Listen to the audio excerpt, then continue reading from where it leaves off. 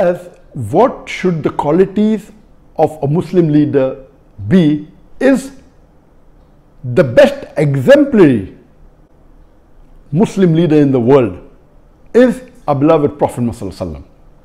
That's the reason Michael H. Hart, he places him number one in the list of 100 most influential human beings in the history of humankind. Imagine he being a non-Muslim places Muhammad as number one and he says that Prophet Muhammad, peace be upon him, was not only successful as a religious leader, he was even successful as a social and a political leader. Because of that, he placed him number one.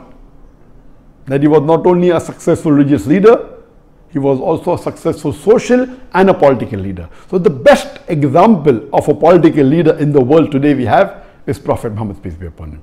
After that, we have the example of the Khulfa Rashidin, Hazrat Abu Bakr, Hazrat Umar, Hazrat Usman, Hazrat Ali. They are best examples for us after the Prophet. And that's the reason Michael H. Hart, he places you know, Umar al-Khattab radiallahu an, may Allah be him, as number 51 because he was a very successful leader.